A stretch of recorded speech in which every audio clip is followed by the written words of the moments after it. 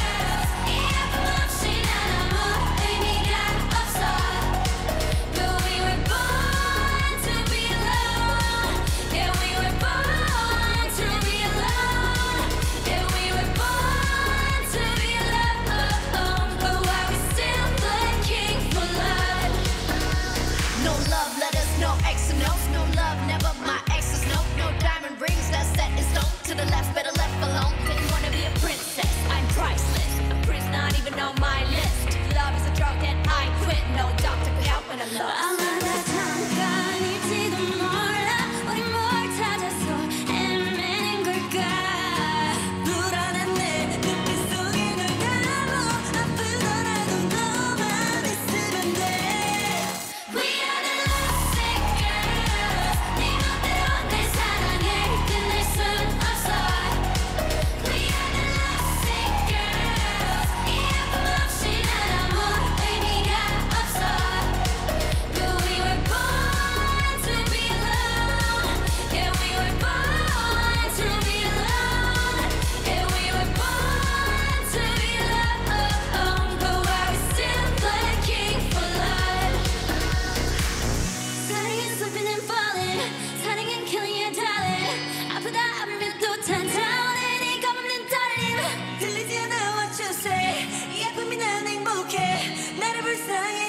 Linga